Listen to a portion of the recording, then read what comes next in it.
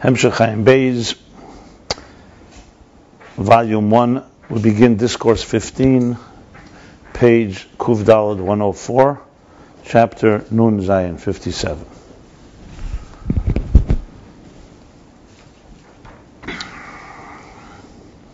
The overall theme is the distinction between transcendent energy, otherwise known as the root of Er HaSeviv, Makif, whose uh, function is nothing but to reveal its source and to express its source, Gili Mina Etzem, and immanent energy, otherwise known the root of Mamali, of Pnimi, the ten hidden spheres before the Tzimtzum, which is purpose and function is to lahoyer ela ilmus, esa ilmus to radiate within and be internalized in existence. So both are er, meaning they both are emitting divine energy, but with very different roles.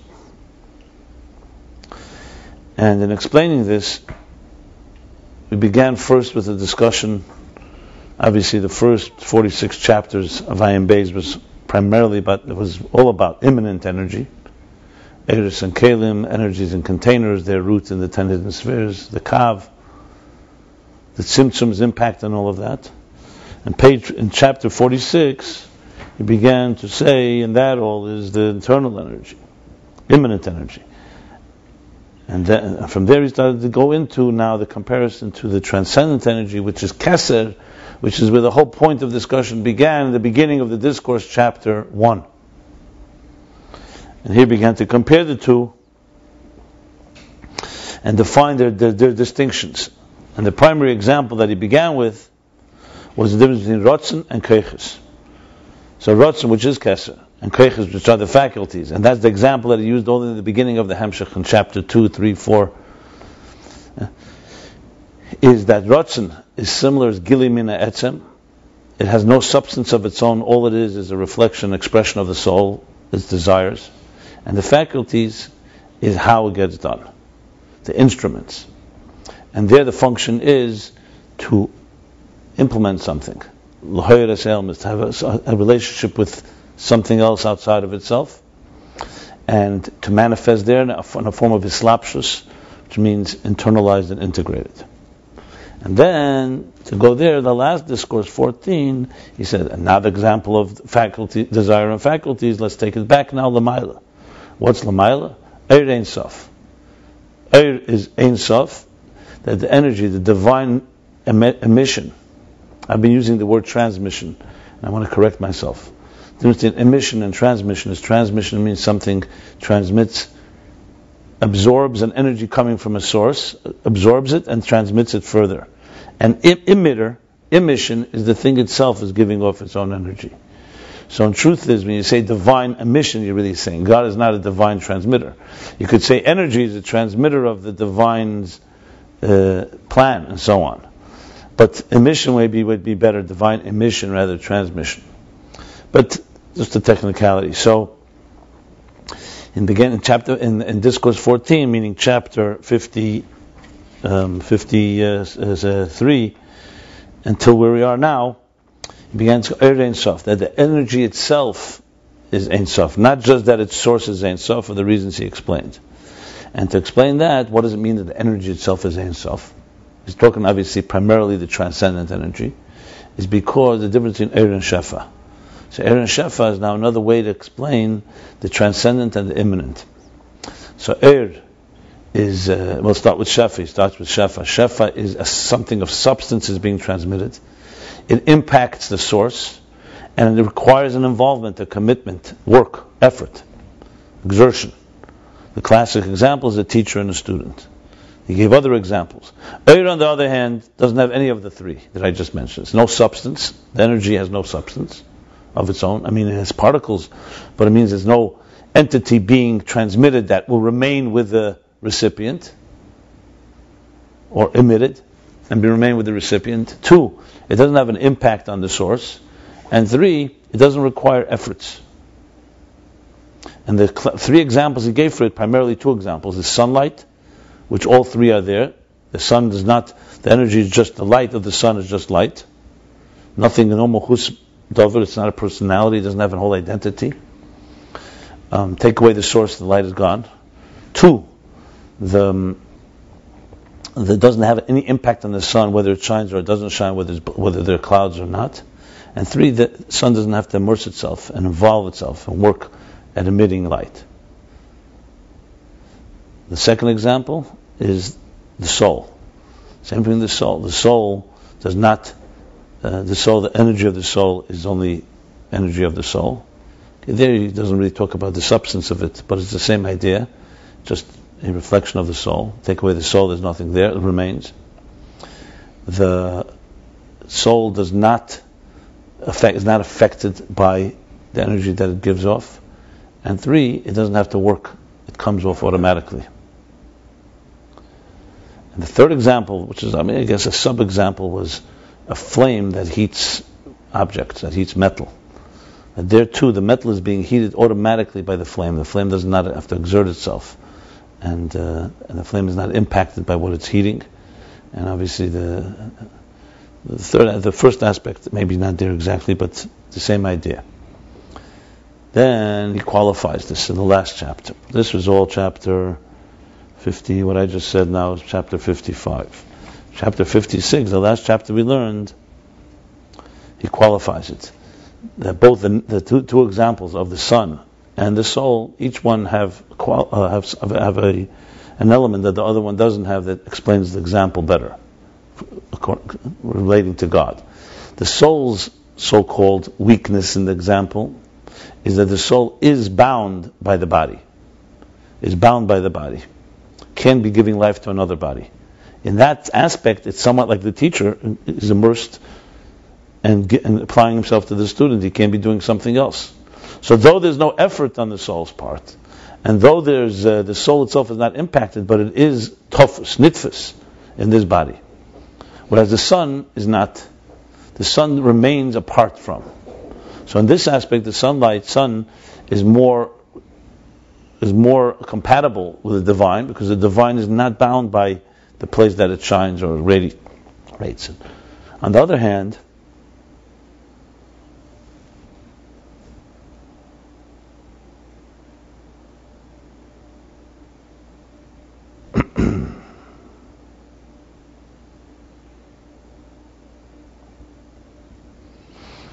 On the other hand,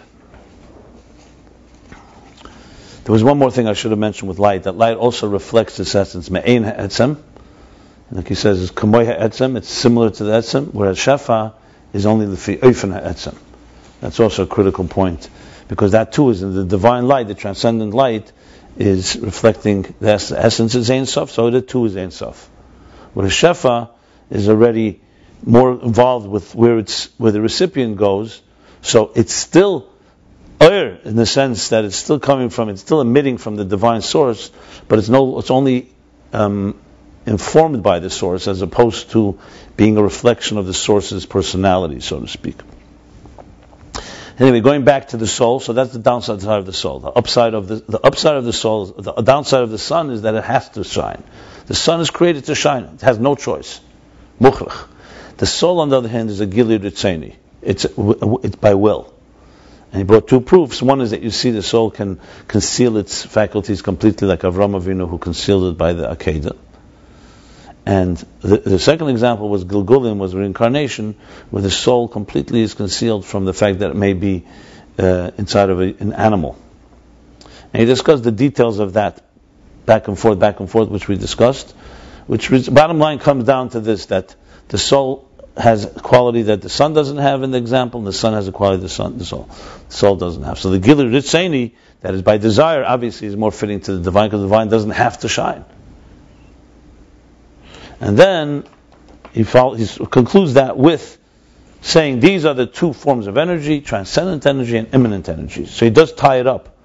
So the discussion that began, chapter 50, in chapter, in chapter 46, is in a way coming to a close here even though he's going to continue, but he de- definitely ties it up that this is transcendent energy and immanent energy, And it's all part of the extension of the discussion of this in this discourse 14 that I said that began chapter 53 about what is Er and Shefa. And of course he applied it beautifully to Sheftim V'Shetim, which I'm not going to review now.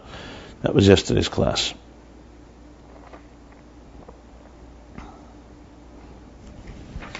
And in the context of the interface, obviously, these are two critical elements in the interface. Transcendent energy is so-called representing the source in its purest form. Immanent energy is also representing the source. It's also doing what the source wants, but it's now doing what the source wants, and it's the instruments to speak to existence. So these two are critical. And we see at the end of the discourses, when he explains the verses, he keeps emphasizing, I notice this almost in every end, that Makif and Pnimi have to come together in the actual discourse itself, before he comes to answer the questions at the end, doesn't emphasize that yet. But clearly, that's the ultimate goal, where they, both are, they both work with each other, and both contribute to each other. In Sheftim V'Shetrim, he said that. In the Maimar Anachamu, he said that. And then, um, and the Maimar Tziyon B'Mishpat and the Maimar V'At Yisrael. So all of them, that's where he brings these two elements together. And it's really the, like a central theme that really explains so many verses. That's what you also see here. That almost every pasuk in Torah, every concept in Torah, is explained by these two ideas: makif and pnimi, transcendent energy and immanent energy, and how they work closely together. So now we begin discourse number 15. That the Frierdiker Rebbe's summary on the discourse number 15 is what? As I said, the summary of the Teichen Hascholos HaMaimer. So Sheftim was Eir Sof, Eir V'Shefa. The last Maimer was Eir Sof, the Eir, light, and Shefa flow. And Kiseitze, he says, Ir makif ir pnimi, which obviously is within the theme of our discussion. So on chap, page 104, we begin Kiseitze l'macham alevecha. When you will go out to war upon your enemies, your adversaries, your foes, and God will give them to you in your in your hands. Means you will conquer them, vanquish them. We have to understand what is the meaning of the words kiseitse, you will go out.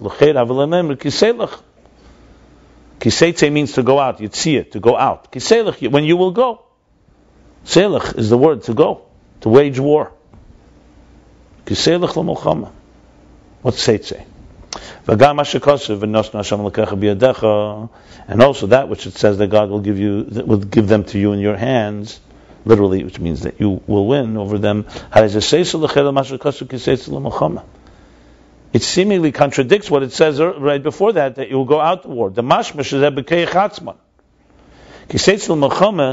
the apparent meaning of that is when you will go out, when you will wage war, meaning it's in your power, It's your initiative, it's your effort. And the words right afterwards says, and God will give them to you, is what is, is what God gives from above. So, in other words, is this a miraculous type of war or is it a natural type of war? means you go out to wage war and God will, um, will give them to you.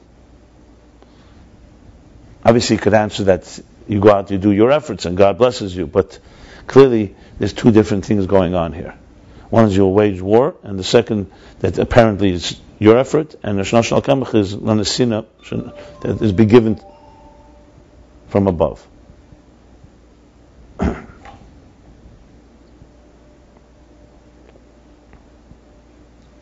Vihine b'medrash rabba now in medrash rabba Isa pasuk tzei hilochem ba'molek. On the pasuk it says tzei also tzei to go out and wage war with Amalek the arch enemy of the Jewish people who attacked them when they came out of Egypt. Mekan, the Medrash says, from here we learn, Shayun Tachas Anani HaKovid. From here we learn that they were, the Jews were Nasunim, they were, uh, at that point they were placed, they were surrounded beneath, they were placed and they were, um, they're located below, beneath the clouds of glory. The ain aimim say el lemisha shari b'fnim. Because you don't say say, go out, only to someone that is dwelling within. So you say go out, go out of where? That means you're somewhere and you go out. Came came say So if that's the case, based on that medrash, it says say here, there's a, a rule that the medrash says. You don't say tzei unless someone is dwelling within. So also, this can be applied also here. It says go out. It's also about someone who is dwelling within. A shayich. And from the apparent meaning of the medrash, and from this context, is that within where you're dwelling within is not possible war. Only when you go out, that's where it's possible. That's why it says because while you're dwelling within, there's no mulcham. That's why you go out, and that's where you say it's a mulcham or say hilachim ba'amalek or with amalek.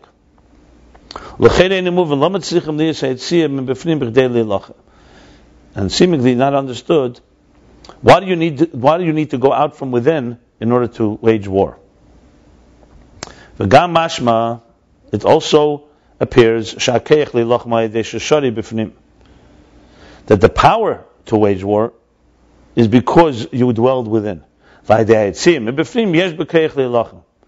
And through leaving within, from within, you have the power to wage war outside of you. Why is it mashma? Because why? You know, what's the point? What's the emphasis here? Why do we have to tell you leave? Because it means there's something that you have, some power you have within, and you carry that with you, that gives you the power to fight outside of you. Love and calls Yeshlag the Mashnis Barleel. To understand all this, we have to preface that which was discussed earlier, the Ein Sof, Gili Ha'etzem. That the infinite transcendent light is Gili Ha'etzem. It reveals, expresses the essence, the source. And that's why it's called Ein Sof. Poshet B'chinas Pshitis Ha'atzmis. That's why it's called Ein Sof, because it's Poshet.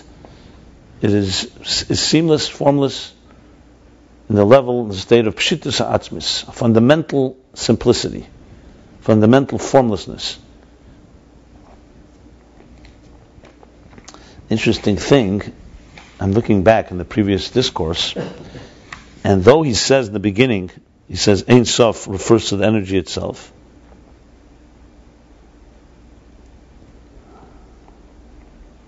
that is that it is is pashtus, it's a gilia etzem. But here, really, you can see the emphasis of why he brought that.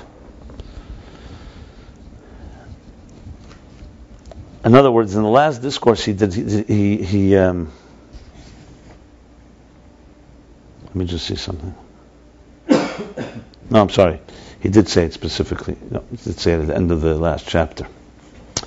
So in the last, chapter, basically, what he's emphasizing now, that Er Ein Sof, because it's Er Ein Sof, because the Er is Gili the Etzem. And then he continues here.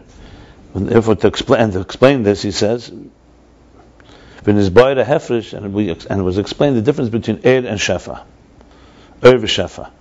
The expression Er, which means light or energy, v'Shefa, which means flow. Both are emissions, but different types. The shefa hu shemahuz davar nishpa v'nimshach. In shefa, the mahuz davar, something of substance, something substantial, mahus, essential, is emitted. V'nimshach is emitted and transmitted. Maybe that's the difference between nishpa and nishpach. V'klolosin hashpoi b'chdei lifel. And the general, uh, the general emission or transmission is in order to affect. It has a function to, to do something, to achieve something. And that's why it's in the form of tvis and islapshus, meaning that that it's something is being manifest here and internalized. The transmitter or the emitter is contained by it, is committed to it, is involved in it. Since something of substance, something is really being transmitted here or emitted, he is he is committed to it. He's grasped by it. Nitvis means he's contained by it. He's confined by it. Invested in it. There's many ways to translate that. And also because the purpose of it is to affect and achieve something. So also the activity, the pu'ula, not just the one, the emitter, but the action that he is initiating is also in the form of tvis v'slapshus.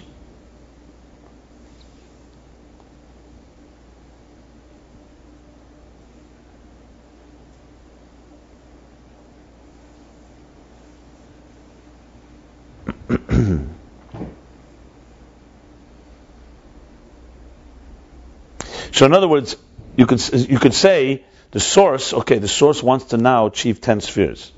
He wants the structure of existence. So yes, there's a tfisis lapsus. He wants ten, not eleven, and so on. But you could say the energy itself, however, maybe is uh, remains sh- shapeless. He says no. The, the action itself of creating, the action itself, is also in a form of manifestation. If you remember the examples he gave, let's say when we when you create art or when you throw something. So throwing is just an external, you throw an object, stone. But when you draw something, not only is the artist involved, the act of drawing itself is reveals more and is itself a, an internalized type of um, action activity. And then he adds in the parentheses, and also from the perspective of the recipient. It's like almost a third thing. There also has to be a preparation to grasp and to contain the emission. By contrast, rather by contrast, light energy is only a reflection, not mahuz dover. And therefore doesn't doesn't doesn't emit in a form of tvisin slapshus where it manifests and and uh, and um, is, is contained and manifest. But the virtue of air, yes, the virtue of shefa is that it's internalized. The virtue, quality of energy and light is that a gilim in etzem that it's a, it's a revelation from the essence itself. That's similar to the source. Er, and that's why the light and energy is also in a form of pshitus, of seamlessness, of um, substanceless, of shapelessness. Finis and explains that these two things, Shef and Er, the first the former is the energy to radiate within the world, the immanent energy, and the latter is the energy light that is to reveal the essence, that has no end and no limits. Clearly, Ein Sof, Bli can be synonymous, but Sof means end, Gvul means limit, parameter. And he said the only thing we can call it is rotzen, desire. He said that at the end of last chapter. So now we continue within the discourse, chapter 57. However, we still need to understand the haloi b'misholim the er v'ziv Hashem is er v'chayis hanefesh. Isn't it true? Isn't it? Isn't it a fact that in the example Isn't it so that the examples, these two examples we've been using, the light and reflection of the sun, the light and the energy of the soul, they, they also have a function. They're not just revealing something. They both they have a function. They're there to achieve something. They're not just revelation of the essence. Yes, they have the elements that we spoke that they don't have to it's not it's not manifest it's not uh, affecting them. It's not manifesting with effort tirda and isaskus and all of that. It's not a muhuz davar. But to say that this is the example for the higher energy the transcendent energy which is just revealing the essence and has no other function how could you say that both these examples have a function B'chdei lifel, they're there to achieve something. Shayin is boilil, perik memches. Like we learned earlier, chapter 48. Let's see, 48. 48 was correct. That's when he said the sun is an example for Er HaMamale, because its function, the whole purpose of the sun is to radiate the earth, as in chapter 48, page 84. That's where he said, "Er the energy that comes the first day, that pierces through everything, and you can see from one end of the world to the other. That's an example of the higher energy.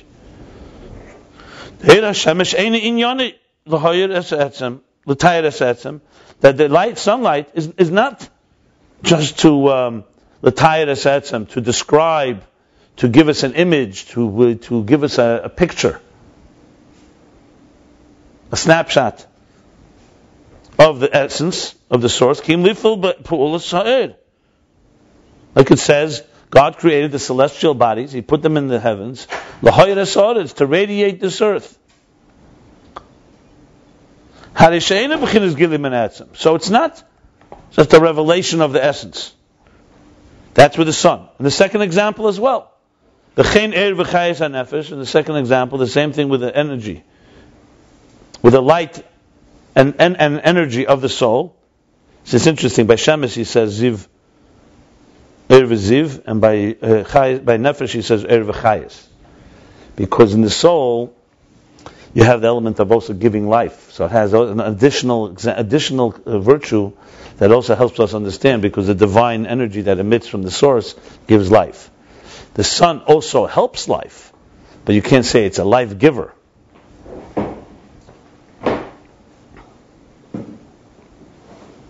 So here we also have chayes.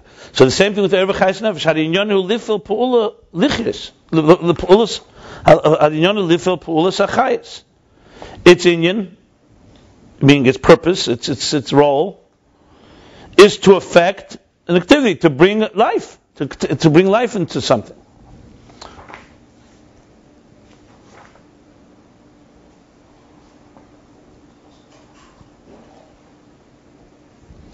So that's the question. The example seemingly weakens this element that there's no that, there's no function except to reveal the, the source. And now he's saying even more. The truth is also with Er Makif, even the Nimshal. This is the Mashal. The same thing above. Halei Neda. Shagama Er Makif Pel Pu'ulas. Isn't it known that even the Er Makif, that also the Er Makif affects actions in these worlds, in the worlds. So it's not just revealing the essence, even the makif also has an effect on the world. Vim Kain, and if that's the case, we need explanation. What then is the fundamental difference between the transcendent energy and the immanent energy? Before we said the difference is one is just like the color of an object. All it's doing is reflecting the source. The other one is specifically would not exist if you did not have worlds and would not have a purpose for them to emanate, to radiate, and to be internalized in existence. But as you just established, both in the example and in also Er Makif, you can't just say they have no pula, that, that they don't, that, that they have no inyan lifil. They absolutely do have a function. so what's the difference between the two?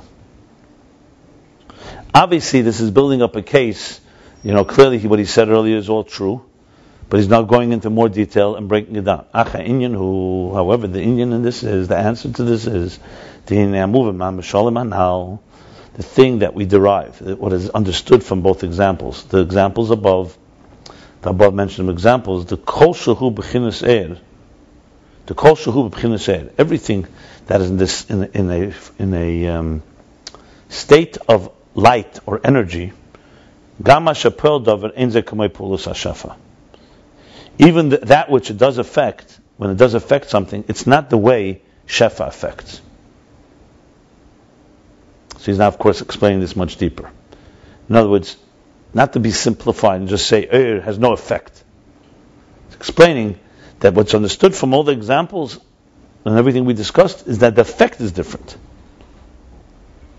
The pu'ula b'shabchina shefa, the effect, the impact that's this, the, in the state of shefa, something that is called a shefa flow, hubchinas tfisa is in a form that it is. I keep looking for the word because I can't find the exact word for tfisa. It is um, it manifests within it. While you're there, you're there. Like you said, the energy goes into the stone. It's not just an oblivious aloof. I mean, I, I could translate more the opposite of tfisa than tfisa. Not tfisa is like it's like two people having a conversation, and one of them says, "I'm in this conversation. You're not in it." You know, you're just you're just doing this uh, by, mechanically or just to be it just to satisfy me. You ever hear? You ever such conversations where one person you don't feel there's a twist in the synopsis. They're not committed to the conversation. They're not involved. So those that would be the words, But the word involved itself is more than just involved, meaning there's a certain applying yourself to it. Tfisa is applying yourself. You're grasped within it. That's uh, the way. And slapshus is obviously a little more than that. It's like slapshus. You're manifested. You're now dressed in this garment. And you're not in another garment. Shefa works that way. However, the function, the impact of light energy is not in this type of involved, committed, applied way. He's going back to the example, like in the light and reflection of the sun. And the same is also with the light and energy of the of the soul, of the spirit. Like discussed earlier, chapter 55. The mitzad er v'chayes hanefesh ein chilik ben guf gas leguf dak. So the sun, we see it very clearly. There's no difference where the sun shines. And same with the light and energy of the soul. There's no difference between a coarse body or an edel, a refined and uh, subtle body.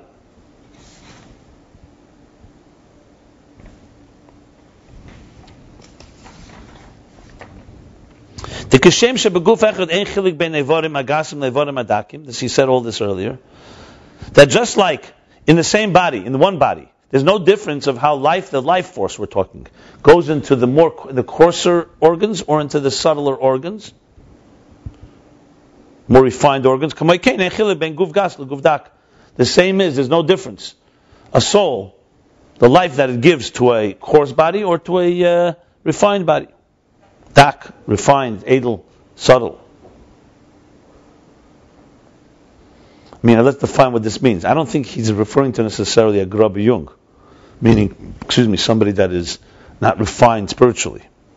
Guf gas means a heavy person, and guf dak means a, a, a frail person or a, a, a, thin person. He's speaking very physically here. Yeah. No, because you could say with Edelkeit in Ruchni is so. Then there's that, but, but he's talking about the life force. He's not talking here about the, the, the spirituality of the soul. Yeah. Or chai is skufnis, nefesh, the biological life. So to say somebody, yeah, obviously someone that's overweight or big, it could be uh, the other reasons that maybe they they plays danger. But the soul giving it life, it's not like he's less alive. Or let's say this is the soul working overtime because it has to now give life to a 300 pound person as opposed to a 100 pound person. That's the point here. Like the sun. The sun is very clear. The sun shines. It makes no difference if it's shining on the most beautiful palace, the Holy of Holies, or a garbage pile, the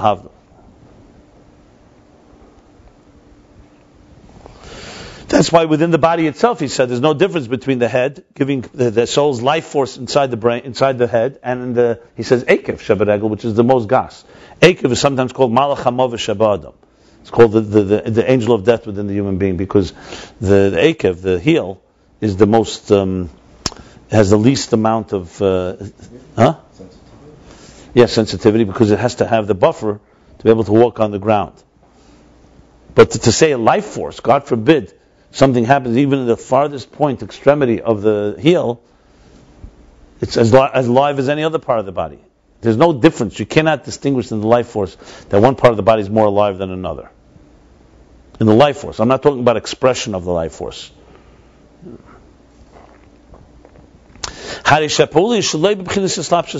So we see from this that the impact, the effect, the activity of air is not in the form of Islapshus v'tfisi, he changes the order now, instead of tfisi islapshus. It's not in a form of manifestation, dressing up, committed, applied, all the words I used before, contained. Because if it would be, then it would not be equal in the two places. Think of a teacher trans- emitting ideas. Yes, a student that has a thicker head and the one that has a more refined mind, there's going to be a very big difference in how the f- uh, flow will, will, how the emission will take place. And the teacher will have to apply himself and say, this one I give like this, this one I give. Here, the soul doesn't have that aspect. So it's important to contrast here. Just to talk, in other words, abstractly about sunlight and about the, the power, the energy, life force of the soul is not going to help us much. You want to talk about it in contrast. In contrast to Shefa, Eir is a completely different type of pool, not Tfisvi Slapshus. Still didn't answer the question. Doesn't mean that they said it's not. It, it doesn't. It doesn't have any function because we've established now that it has something. He's going to get back to that, but he's just saying the key thing from the examples that we know now is that they're not the same. Er er because now now the primary difference between Eir and Shefa, between the light and energy, and Shefa and the flow that we just described. Hainu, meaning between immanent energy and transcendent energy. And I'm specifically using those words because we established that makif does not mean outside, like he says in Tanya. It means it's there, but it's concealed. It's not within measured by the containers, but it's also in there, within all of existence. And erpnimi is nirgish, is sensed by the containers, and is, is immanent, internalized, and integrated. The air pnimi, what is the primary difference between them? The air pnimi, am shachose, min atmasu b'chinis muchus mitzias dover. The air pnimi, its emission or transmission from the source, from the essence, from atmos, is in a form of, in a state, in a state of muchus mitzias dover of, sub, of identity and substance. Let's explain what that means. Not and substance that you can touch it with your fingers. It's ten spheres. Even in ten hidden spheres. Ten and not eleven. Ten and not infinite. Ve'er makif and the transcendent, transcendent energy, hamshachose, its emission or transmission, ubechinis ayin. It is fundamentally a different type of emission. It's ayin. It's substanceless. It has no shape and form. And you can't call it as a spheres. There's no ten. It's either unlimited or altogether no spheres. Just to use that as an example. So right there you have two types of emission going on. One has definition, and one doesn't, basically. One is Ein Sof, as he put it, and one has has some type of definition. It may not be limited energy, but the energy itself, like he said, the infinite energy, Shir Atzmei, he measured within himself. What did we say yesterday? The word Shir Atzmei. He, you said a word. He um, defines. Assess. Huh? Assess. You said evaluate. Evaluate. He evaluates. There's something going on. There's an evaluation going on. A mishpat, as he put it in the end of the last member. V'hainu the tchilas eifon hamshach of izgal shalahem min. Which means, from the root, from the beginning, not later. The tchilas eifon hamshach of izgal shalahem min. That the beginning, the tchilas, the, the point of departure. The tchilas, the beginning of the way they were transmitted, emitted, and revealed from the, the, their revelation from the essence. The, the, the immanent energy, internal energy, Nimtza says nimtza min atzmus because atzmus is not up. Is extent is uh, emerges from the essence. Is a mitzias davar as something, some that something of definition. and the er makif emerges from the essence in a form of ayin. So you have two different types of emissions. Now let me just qualify before anyone asks any questions. Obviously, you start comparing Eir Pnimi to Kalim, and definitely to lower levels, it's also pretty fine iron. But if you go all the way to the, but if you subtly, in its root, these are two different types of emissions. Very, very different types. just want to qualify that. Because remember, it's also air. Didn't call this kalim yet. That's why I said we don't want to get stuck in words because you start saying, one second, this sounds very awfully like kalim. So what's kalim anyway? And kalim of Atzilas don't have any physical substance. They don't have any spiritual substance. So what's the difference between keli and air? So I'm not going to go into it at length now because it's not the point here. But obviously, a keli is a whole different uh, role. Keli is a recipient. A keli is a receptacle that's completely concealed. Like you spoke earlier, the shimu, it's completely concealed. This air is not a concealment. This air is a definition of the artist's flow, but it's not a concealment. Is it all of Atzmus? No, but also the air makif isn't all of Atzmus, for that matter. But that's the distinction. We're talking about air. But within air, within the emission, the difference is an emission that is in the form of ayin, so, uh, no definition, substanceless, and an emission that is in the form of definition. That's why I'm using the word definition, even though he used mitzias davar, he doesn't mean mitzias davar as in physical substance. It's always possible to have. The other one is not possible. Well, on its own, on, on, on its own, yeah, yeah, yeah. The other one's role is not to have gili. The other one's role is to receive and actually to reveal an essence of the divine that's beyond revelation, the essence itself. Keli has has virtues that no oil can no can have. It, the oil carries. Remember, the oil always carries all energy, even the energy of containers, but it's not a container. So really, it's really like almost three levels in any situation. You have an entity, you have the container, you know, let's put it this way. We, he gave examples for it. Here's a good example. If you want to, letters on the page is containers, A, B, C, D, E.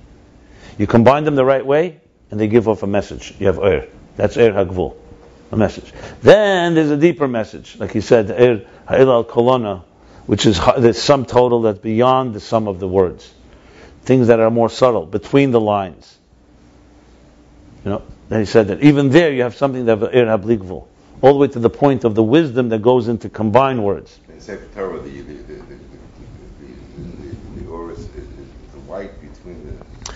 There's the different levels. All It's all there. In Sefer Torah, you have the Pnimi, have the Armakiv, and the, the Atzmi. The point is that there's these levels. Uh, but let's continue. Let's go back here. I don't want to get distracted. I just wanted to make that qualification.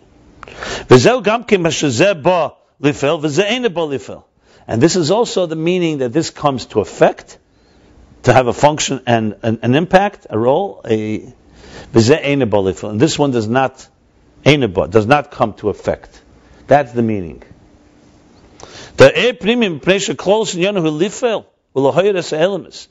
immanent energy, because of its general purpose, its general role, identity, is to affect and to radiate into the, into the worlds.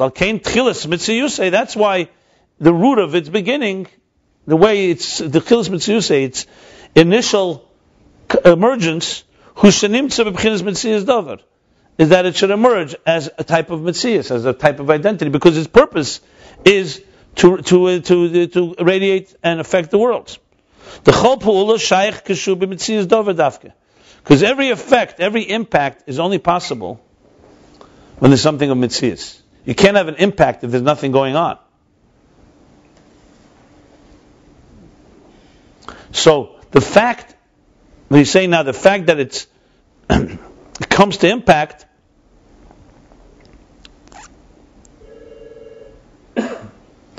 is what is what compels it to be a mitzias davar. And the transcendent energy emerges in the form of ayin, nothingness, substanceless, identi- identityless. There's a word like that. The fish ain't in yoni lifel because it's not its job, its function is not to, its, its identity is not to affect kimu gilim and. It's only to reveal the essence. Okay, so what did he add here that we didn't know before? He added here like this now. he didn't yet follow up and you know conclude what could you say that the Ermakiv doesn't have any impact? But he's explaining what does it mean. So he's saying, um, right now he's saying, I mean, I want to read further and see how he continues this.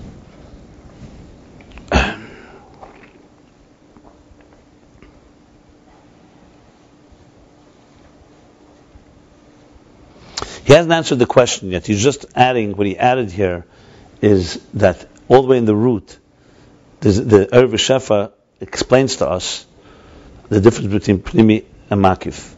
That in Er, there is no, um, I'm sorry, in Shefa, there's something of substance, an identity, and in Er, and in er there isn't. And therefore, the way what we describe is one is comes to effect because it has an identity, it has a that's its function. The other one is substanceless and is ayin because it doesn't have an impact. We'll soon get back to what the full meaning of that is. That's what he said right now.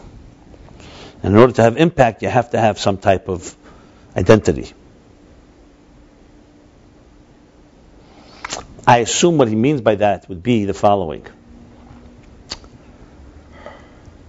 To use the example, uh, examples I've given before.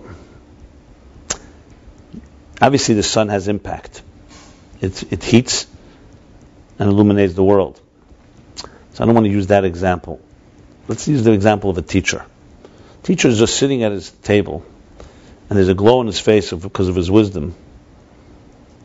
So incidentally, people can be impacted by it. They can be influenced by it. But that's incidental. He, he is just what he's being who he is, and the glow in his face is just revealing his wisdom. Period. But if he wants to impact his student, he has to involve himself. He has to sit down and teach him, apply himself.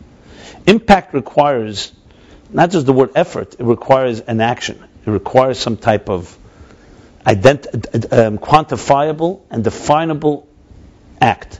You want to throw a stone?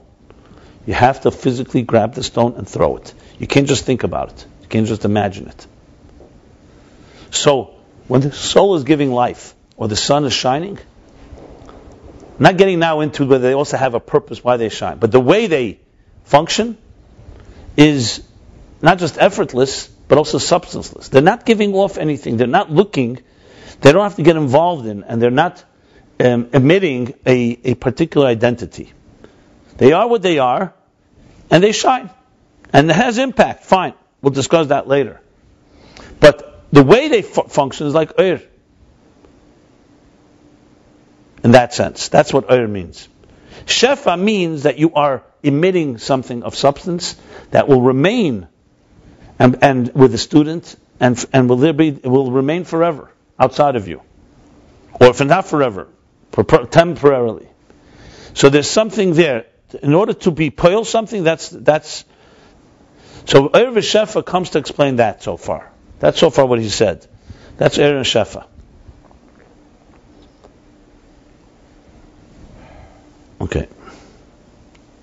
That's right. The chopul shakishu b'mitzias davar dafke.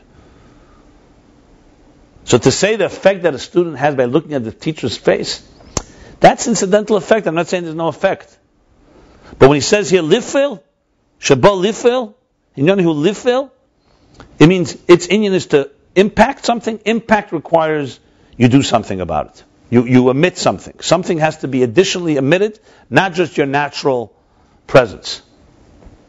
That's what impact means in, the, in this context.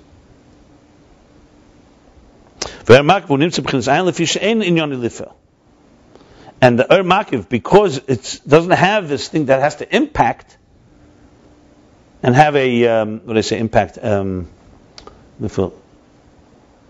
has to achieve something, what did I say before, lifel? Impact, uh, to accomplish or to achieve, uh, change something. Function. That type of function, to function is something, and so on. So that's why לפי שאין עניין לב הקימו מבחינת גילים, one second.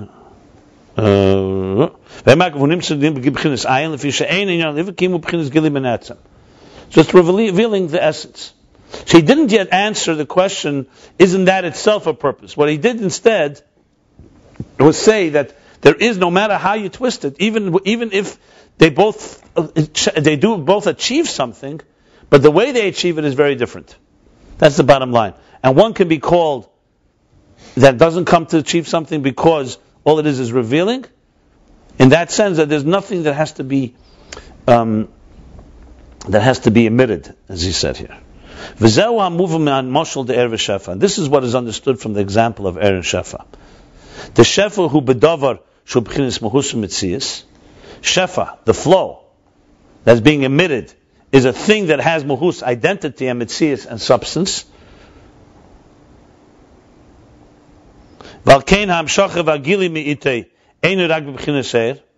And that's why the transmission or the emission and the revelation from it, you could say maybe the transmission and the emission from it, its emanation, is not just in a form of, in a state of light or energy. Rather, something of something of substance, something is something is being is being is being uh, emitted. Now he's adding. The only thing is it's only an external part of the source of the emitter.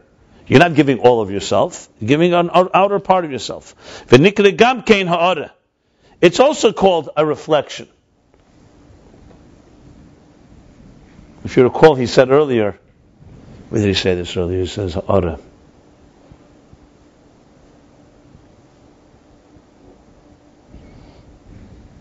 I'm trying to remember where he says it. Okay, whatever. He said something earlier. So why do we call this ha'ara? If it's shefa, how are you suddenly using the word ha'ara reflection? Because because the fact is when a teacher is giving an idea, even though, as we just established, this is not like light, oir, it's a shefa form of, of a transmission, but it's a, it's chitzenius, because the outer part is zakar is only a ha'od is only a reflection from what's going on really inside. V'hainu he atzmis, ena atzmis. Because the inner dimension is atzmis, is essential, is a fundamental element of you, of the entity, of the source. Ena atzmis, and, and the outer is not that central and, and, and fundamental part of him. Nevertheless, it's coming from the muhus of the pneumius. In other words, it's not just like sunlight, which has no uh, substance at all. Here it's coming muhus pneumius, like you said before, that it's informed by. It's coming from muhus pneumius. So if it's seichel, for example, coming from a teacher, seichel, he's giving intelligence. You can't say this intelligence is is just a reflection, just a mere reflection of himself, like this, let's say the glow on his face. He's, com- he's communicating an idea. So it's mohus apnimis. But it's relatively only a reflection, meaning only an external part of what he really has in his mind. When you throw a stone, does, that, does the, the power of that throw have all your power within your arm? No. You may have only used only a part of it. A lot more power. But to say nothing was emitted, absolutely. The stone is flying, even if it's for an inch or two inches or a foot or two. Whereas sunlight or the energy of, this, of, the, of the soul is just a flow and there's absolutely no power being uh, invested in it, so to speak. The sun just has the power, it, just gives off light. I'm not saying the light has no power in it, and its impact can be even more than throwing a stone. We're not talking about the result. We're talking about from the perspective of the emitter. What, from the perspective of emitter, there's not, he's not giving off part of himself. That's why as he said, when you're throwing a stone, you can't do something else. The sun can be giving off light to many in, in, in all directions at once. Same thing with the soul; it can give life to every part of the body and to a, thick body or a, a, a thin body. But nevertheless, it's muhus apnimi. Seichel, however, is coming from muhus, so it's an external. He's really what we're doing really here. I'll tell you the truth. Part of this is language, because it all comes down to really language. The ideas are clear. What can get confused is language. You start saying, is the word oir, ha'ara, reflection, light, energy. I mean, remember, he began by saying that the Mukabalim used the word oir where the philosophers used the word shefa. They're both describing the same thing, an emission. They weren't talking about two different, it's not apples and oranges, because then there's no discussion. Then oir and shefa, one is, you're talking about this type of emission. That, so why did the Mukabalim, why did the Kabbalists use the word oir and the philosopher shefa? For the same idea because each is emphasizing a different aspect of this emission. The philosophers focused much more on the emission as a function. God created something. So there's an emission that has definition, that has purpose, and so on. The Kabbalists went deeper and tried to understand the subtlety of how an emission flows from the divine. At the end of the day, both Er Pnimi and Er Makiv are two emissions. One functions more like Shefa, so they're both an emission. So a big part of this is really getting beyond the language and understanding. So you use the word Ha'ara by Shefa, don't get confused that suddenly he's defining. Obviously, Shefa is also a, a form of, and everything you can define as energy. What, what is an energy? Every emission is energy. If I'm emitting seichel, or I'm throwing a stone, or I'm drawing, or the sun is giving off energy, or a radio uh, or a transmitter is giving is, is, is generating uh, sound waves, or a, a uh, generator electricity, everything is emitting. But when you break it down, there's different types of emission. So what he added now is that shefa, we also use the word ha'ara, reflection. What he means is not a reflection like sunlight type of reflection. Here there is something of substance. It's only the outer dimension of it, but it's from Machusa Primis.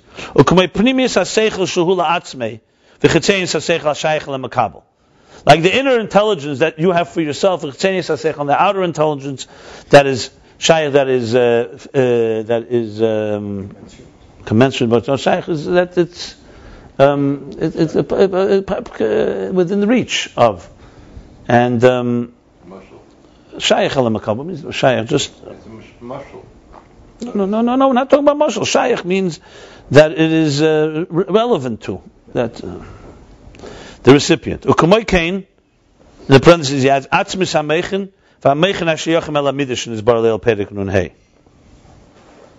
And similarly is also the difference between the essence of the intelligence and the way intelligence has a relationship already with relationship is the word I wanted to use with emotions, as we discussed earlier, chapter fifty-five.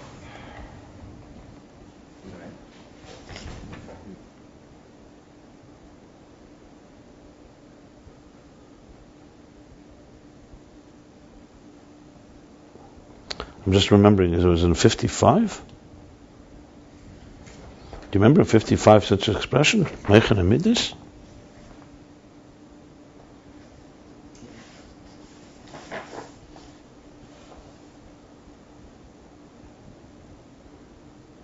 Yeah, okay. I don't remember Meichen Amidis, I remember Meichen.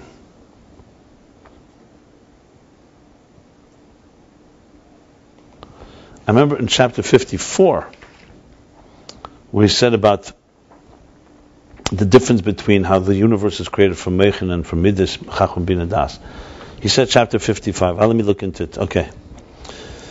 Bottom line, however, that there's a difference. This is a, as, as this is a, a atzmi. This is not an atzmi. Let me describe atzmi here. Sometimes by you say this person is an atzmi. Some people say this person is a chitzen. Okay, that's two extremes. A chitzin means somebody that's just a, uh, a chitzin means someone who's just, what's the word, is, is uh, not just superficial, but he just doesn't really have a primis. He's just showing, not showing off. He's just uh, superficial. Is very good word. Superficial. He's just on on the outside. He's like that. How did you translate a chitzin? A chitzin means he puts on a nice show, but there's nothing going on inside. A primi means someone that is a very internal person but also internal. It's internal, meaning that what you see, you know, there's a deeper side, there's a real. Atzmi is even deeper. An atzmi. You say atzmi. The Rebbe Rashab, once the the, the Bochum was singing a song, preparing before he's going to say a maamar, and he saw them rushing the song because they wanted to hear the maamar already. Mm-hmm. So he spoke a whole sikha instead of saying the maamar, he spoke a whole sikha about a, a difference in a atzmi, a primi, he called it. He says a primi, where he is, he's completely there. So while you're singing, you should be singing. Even though the, you know the song is a preparation for the next step. But a primi, where he is, he's completely there. Beautiful.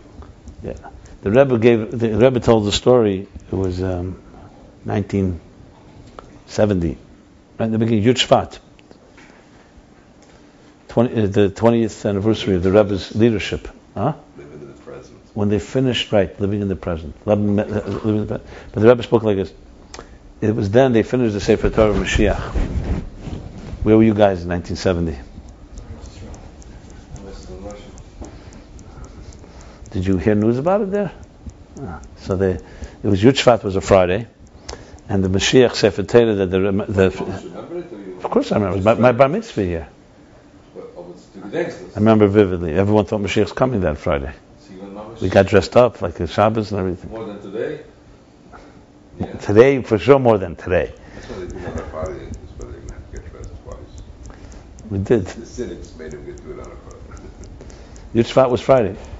And a lot of people came, relatively speaking. The shul was still a small shul. I remember, of course I remember, 13, how, you know. Yud Shvat.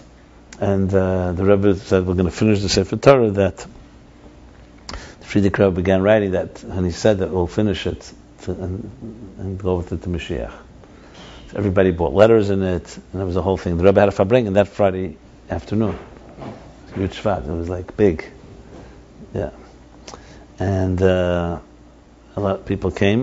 It was, uh, the Rebbe said that a maamar Lahavan Inyan Ksiva Sefer Torah, to understand the idea of a writing of a Sefer Torah. And uh, Shvat, 10 days later, is when the guests that came returned to Israel. The Rebbe had a fabrengen that, I think it was, if Yud was Friday, 10 days later would be what? Yud Zayin would be uh, Shabbos, Sunday, uh, Monday, yeah. Monday afternoon there was another fabrengen, special fabrengen. And um, in the middle of fabrengen, the Rebbe says, I could see people looking at the watch, at the clock, because they're rushing to go to the airport. They have to go back. So the Rebbe told the story. He says the Frierdiker Rebbe, he says the Shver was uh, once, he was in uh, Leningrad, preparing to go for a very, very secret and dangerous meeting in Moscow. And it was just a few minutes, 15 minutes before they were planning to go to the train. The Rebbe says, I walked into my Shver and I see him sitting.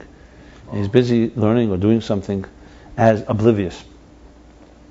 Not aware of, not, you know, usually before a trip, and this, especially a dangerous trip, you think as if nothing. And the Rebbe said these words. I felt, I said to myself, "Me'ech shal talalev," you know, self-control. But ad kedei kach, to such an extent, he wondered. So he asked the Frierdiker Rebbe that. Have it up in the Mr. Train plane. He, he asked, he, so he asked the Rebbe, ad kedei kach.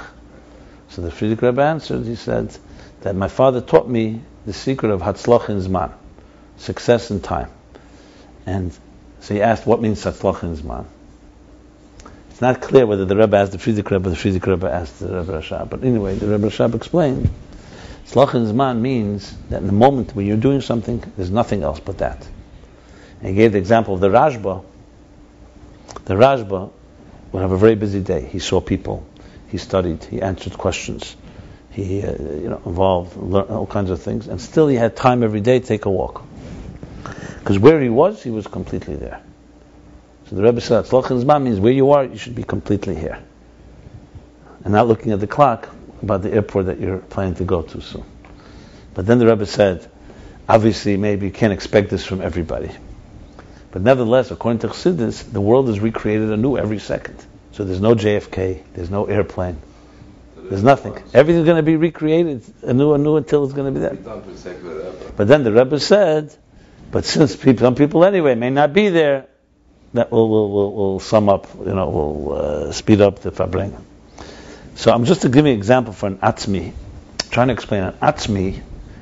You see, it's hard to explain these things because we are not atzmi fundamentally. We are living in a chachenizdik world.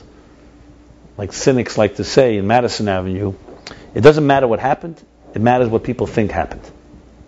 That cynical statement tells you the secret of all of existence. It's an external existence. It's a lying. Alma. This world lies all the time. Even when it's not lying, it's lying. Because what you see is not what you get. You see a world, you don't see its source. You can deny its source, and, but it's constantly being renewed. Like the whole point is, why is this a false world? God put it here. Of course, Bereshit is bara Elokim, it's a real existence. But it's not real if you think it's on its own. It's like giving uh, credence to the, the, the to the shell of, of a fruit, to, to potato peel. People live on the potato peel, and they make their build their entire lives and plans around on the peel level, forgetting there's something under the peel. There's a fruit within the peel. So an atzmi, so there's a chitzin is just someone who's completely superficial. Then there are people, you know, we all have an inner and an outer. A child, for example, if you remember, he said before, he said uh, about a child.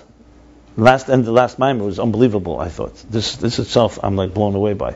A katan is an atzmi. So Kol is there. Because he doesn't have anything blocking it. So what you see is everything. He's complete bittel. Bittel b'chol musay. As soon as we become intelligent, as soon as we become, even more than that, we become conscious of ourselves, you right away have two things. There's me and who I'm conscious of. Basically, a true experience, like before Etzadas was, there was no difference between the subject and the object.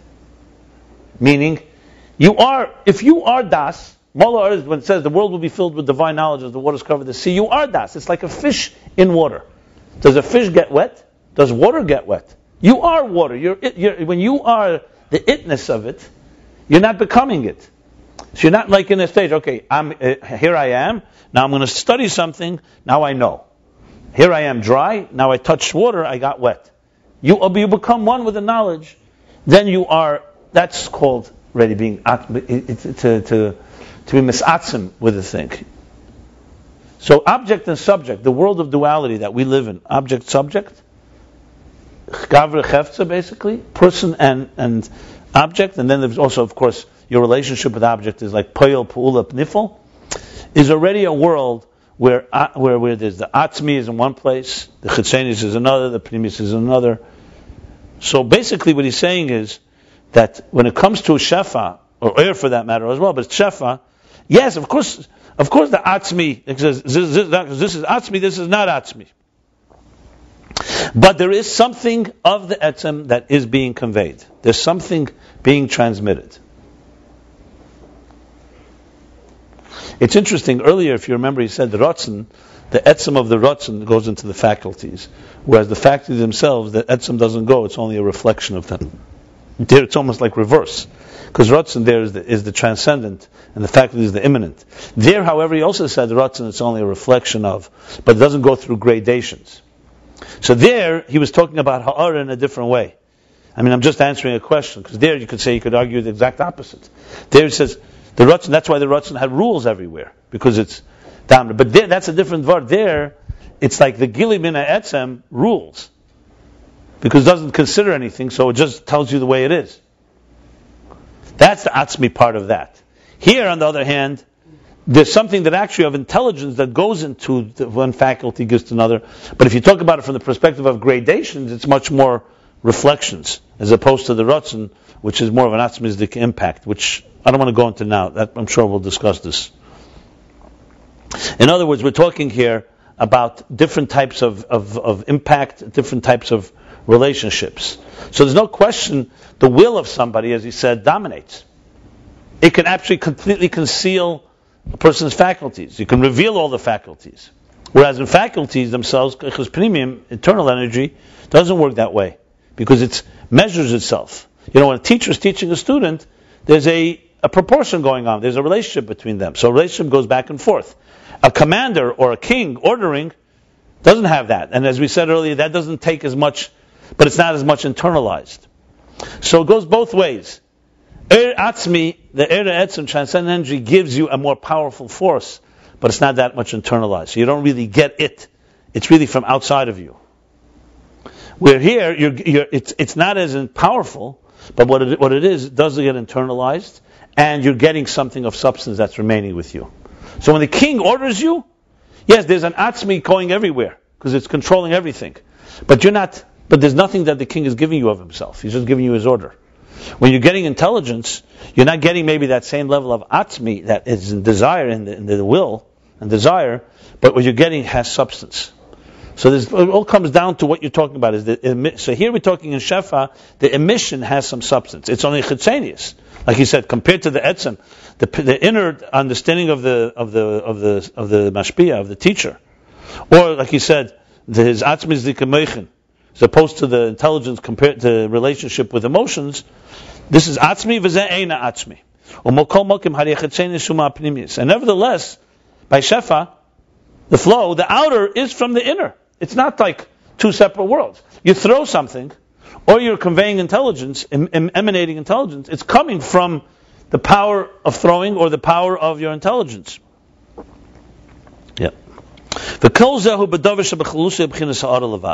All this is in general about something that is only a reflection. He's just making a qualification All this is at, at the end of the day of a reflection. Because something that is really an atzmi, even part of the essence is also the essence. So he's adding now another dimension here that we didn't even discuss. Discussed it a lot earlier. At the end of the day, Er and Shefa are both an emission, and in many ways are not the source. Now he's saying there's a thing called a real atzmi. When you really have a part of the etzem, not etzem asechel or etzem akeich. When you throw something, the throwing power, yes, is coming from the power within your arm, which is much more fundamental and much more powerful within. When you transmit intelligence to somebody, you're also giving them something of substance, but it's much deeper inside. But the atzmi, real etzem, wherever it goes, whatever you touch, you, you get all of it. Which is why in a shama, for example, a chelek Eloka mima'al mamish, but it's an atzmi. So you touch a piece, you touch the whole thing. That's a qualification that's not discussed relevant here. He's just saying it to qualify again language, what we mean by atzmi. So that, that's a real, that's a, that's a atzmi mamish. There's a lot of language going on in this chapter here. That's a lot what's going on. Is er, shefa, ha'ora, atzmi, chtenis, primis. V'ayim asher ba'bir div yeshuvu. Be'inyan b'tzalmenu nusenu. And look at the explanation in the, in the, in the beer of Yeshuvu. It's a maamar. In the Inyan, the concept b'tzalmenu kidmusenu, about when the human being created in the image what do we say, the image and shape of the divine. That this, for example, is like the image of a person that you shape, you create, matris, in a piece of matris, clay matris. Before we said metal matris. What's matris? Matris is, uh, clay cheres is, no, matris, yeah, metal. Yeah. Oy etch or in wood. You know, when, you etch, you etch in, in, in, you carve or etch an image of a person. And you also draw not just the thing, you also draw the life force. In other words, you see it's a live person. Either you see it move. The chitu adam. The chitu the the grave engraving the the the, the carving. Chituch more than chituch, the shape. What's chituch evarim? Chituch is the, the form of the organs. Who's kama every adam. They're exactly like the organs of the person. So you see an arm in the image, it's exactly like the arm. What about the life force? You see, let's say, a person throwing something in an image. So you can envision, but the the chayis, obviously, it's only it's only like a it's only a um, uh, it's only a shape, only a dmus.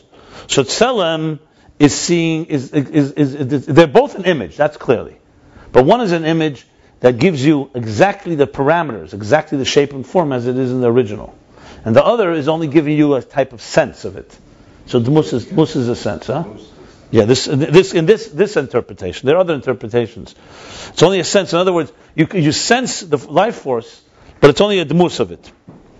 V'iyun sham nimshal, and look there, delve there into the nimshal, into how this, into the lesson that comes that we learn from this.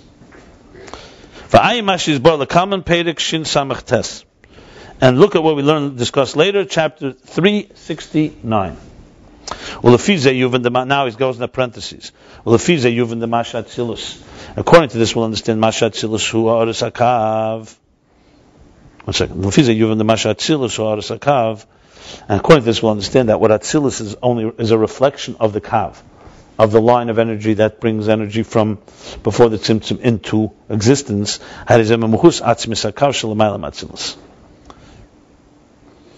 That this reflection of the Kav and Atzilus is coming from the Muhus Atzmis, from the inner identity and essential personality of the Kav, Shalamayel Matzilus. That's higher than Atzilus.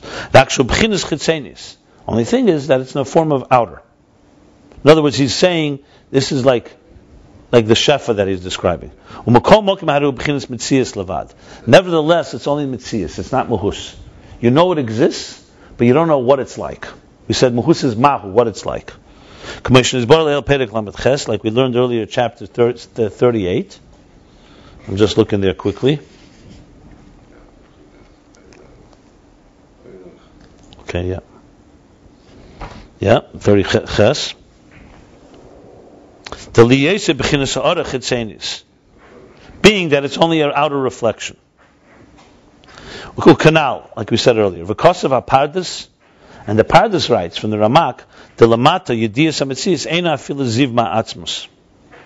That below, knowing that something exists, right, is not even a reflection of the essence. So Lamaila and above, meaning down here below, how we know that God exists, that the divine exists, is not even a reflection of the Atzmus. But above, meaning in the higher worlds, um, the Metzias is actually knowing, is, is actually the reflection of the essence. Meaning that there is not just a uh, reflection of a reflection, so to speak, but there's an essential understanding of it. And maybe we can say that the containers of Ak are the dimension of ohr, of energy, of ohr. This is very dense, and, and basically he's just applying what we're learning to this particular level. But let me just sum it up. What we've discussed here so far is the following. He's speaking how Shefa works, which means how internal energy works, pnimi. So the key thing is that it works that there's something of substance, something that is substantial that's being conveyed. Not just a reflection like with the sun or the or life force, where there's nothing being nothing really being transmitted of substance, because it doesn't have to have an impact. Here there's an impact. Shefa is an impact. So you're conveying, let's say, intelligence. However, it's an outer dimension of it. To explain outer and inner, or this, that this is atzmi, this is not atzmi, he says that it's similar to the tzelem mus. Think of it like you have the essence of something, you have a human being. That's the thing itself. We don't see the human being. We see now an image of the human being engraved in metal or in stone, or in, I'm sorry, metal or in uh, in wood. There's two things here. You have the engraving of the, the organs. Okay, so you can now see, actually see something about this thing. That is like more um, would be that would be more what he calls a um, that's selim. Yeah, that's selim. What he's referring to it here. I'm just looking for what words it would be called. This is this is the Ha'ara Chitzenis, I believe.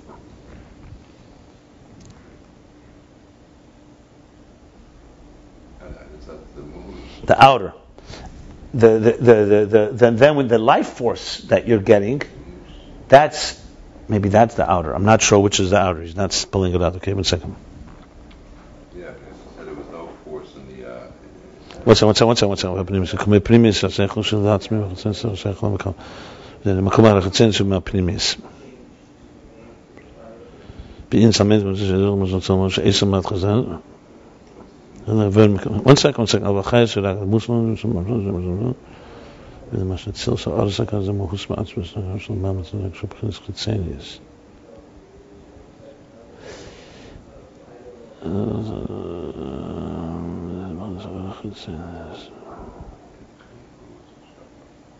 Okay, not clear, positive which way it goes here, which is which. It seems that that mus is probably the example he wants to explain. That with chayis, you only get a sense of the, the, the energy. Right, that's the chitzonius. Yeah, that's what it looks like. The tselem is, in other words, not really relevant here. Well, let's put it this way: what level is that? That would be the level. Maybe that's what he's saying about ak in the parentheses. That's already above that you get some type of muhusa gili. This is more mitzias. And so the kalim of ak maybe that's what he's saying. The containers of ak are more like the tselem. You're getting you get you're getting a, a, clear picture of the actual organs, but the life force, the the dmus is only, but you're only getting an image of the of the thing of this. Okay.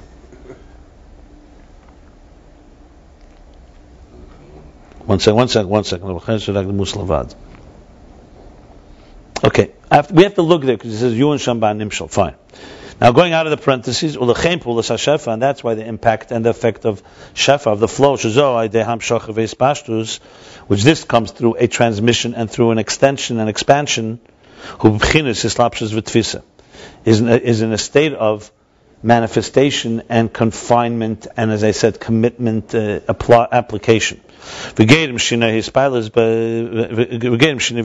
apply, application. And they cause a change and, and a uh, and a, and a spilus and even an excitement,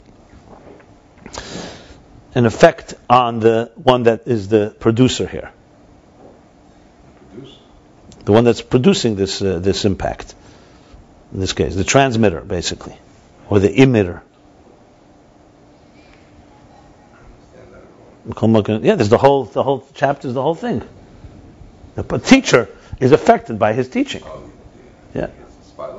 Spilus. Spilus means excitement literally, but a spilus means shinui, change, and spilus, and there's a uh, emotional impact on him.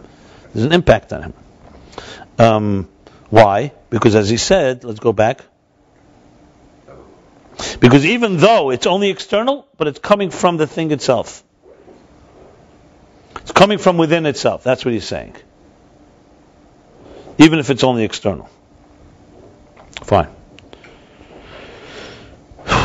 Eh, now, on the other hand, eh, by contrast, eh, there's no substance. There's no identifiable entity here.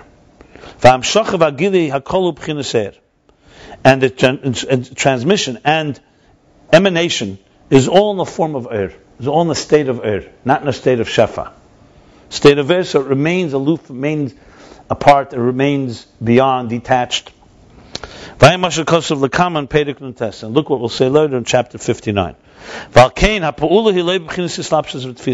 And that's why its impact, its effect, is not in the form of manifestation and confinement or commitment or uh, application. And it doesn't cause any change, any spilus, therefore, in effect and impact on the source. Now this is uh, this is uh, now this is like it's known by the two types of ayin ayin shal yesh ayin shal yesh anivra. Let's explain what that means. In Kabbalah Chassidus, they talk about yesh yesh, two states of itness. Yesh Amiti, let's say, is the divine essence, and Yesh Anivra is the, divine, the, the, the itness of existence. They're both an it. Obviously, there's the ultimate it, and this is the created it. Between any two states of Yesh, there needs to be an ayin be'emtza. Because how did it go from here to here?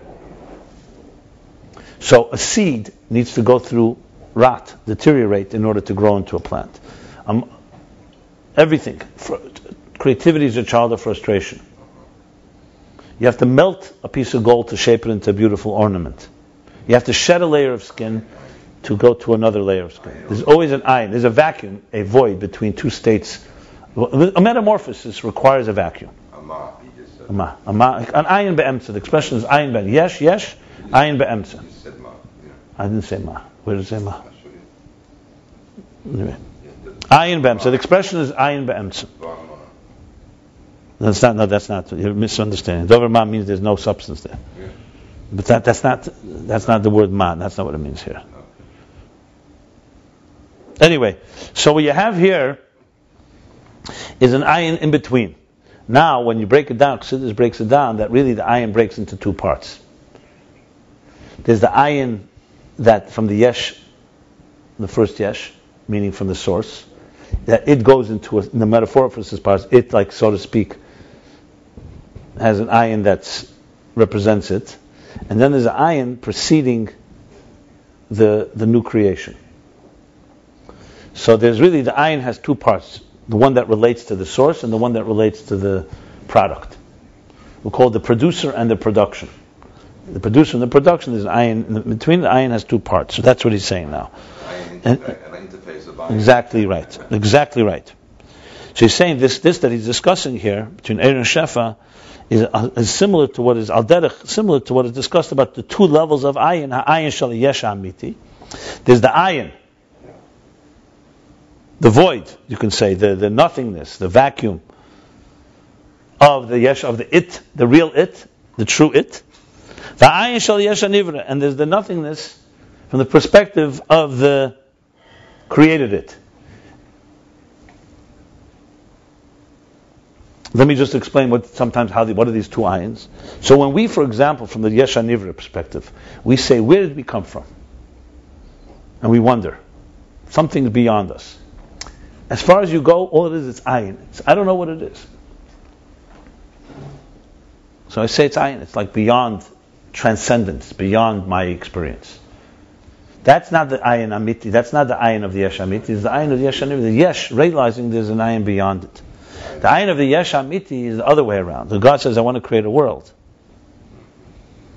and um, in order to do so, I'm creating a state that is somewhat like foreign to me. Because the ayin, the yesh amiti, doesn't need an ayin. So it's right away, you know, it's not called Tzimtzum. You'll see here, it's, it's, it's another perspective that is how the divine sees existence, basically. So there's also, it's a form of, like it says sometimes, yesh ma'ayin, for us, ayin is Elokus, and for God, we're the ayin.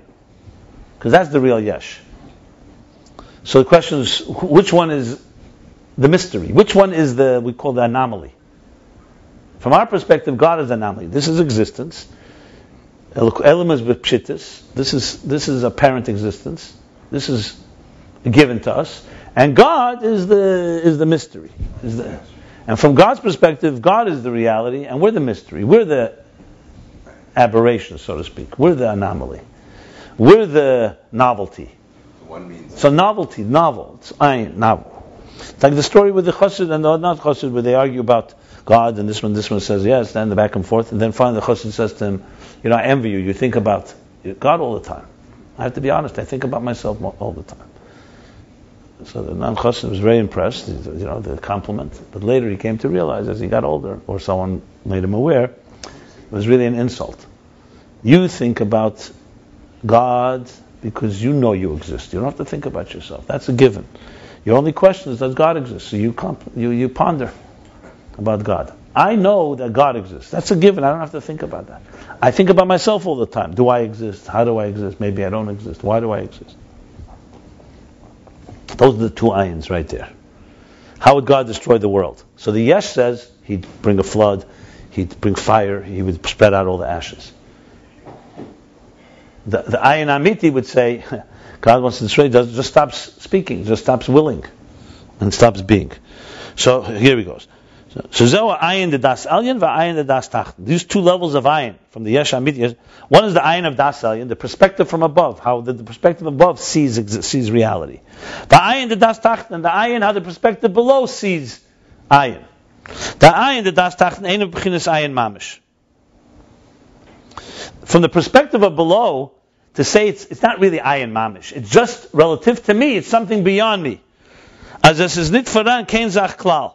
You can't say that nothing at all exists from the perspective of the yesh below. Obviously, you, you, we are part of existence. Like he spoke earlier about bittel, that the bittel at the end of the day is a bittel b'mitziyuse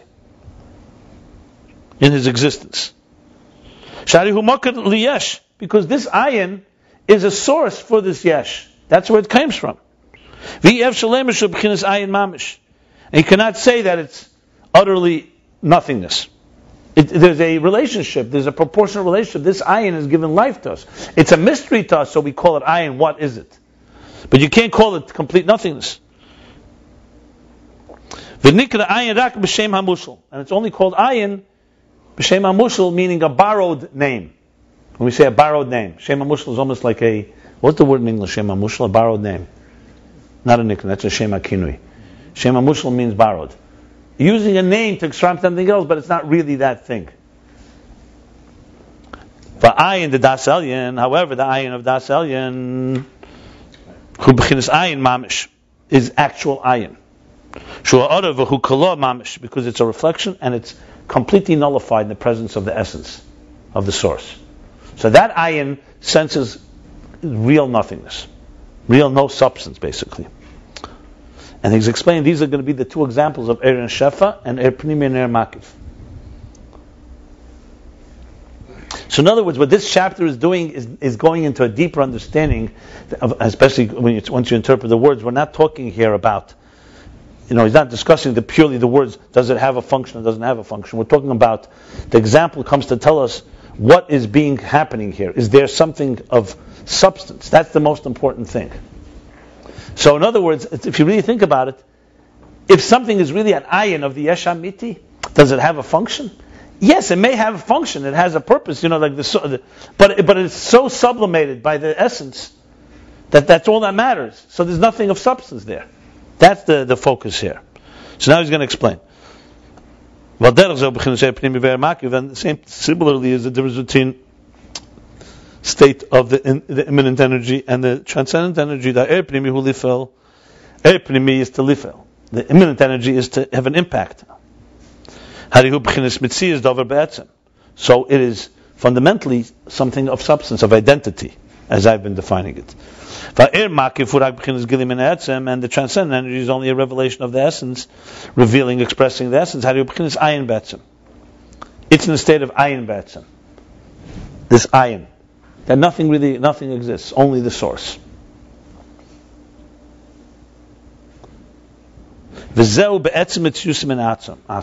this is in their essential existence as they emerge from Atzmus. As he said earlier, the tchilas memshachosam, all the way from the root. Now, now he's going to come to the answer. What's that sound? However, as they these as they extend, as they pashas, as they spread out outside of the source. Also the emakiv, also the transcendent energy affects something, has an impact. Okay, let me before we continue here. First of all, what time is it? Whatever. So he asked the question at the beginning of the chapter, don't we see from the examples that they also have a function? How could you say they're just there to reveal the essence and they don't have a function? And also makif. Makif has an effect in the world. So just to say that it's just revealing the essence. So to, to explain it, he went to a long discussion here. That we really need to look deeper into what we're learning from these examples. What we mostly were learning from these examples is, is, is the state of being of what they're like.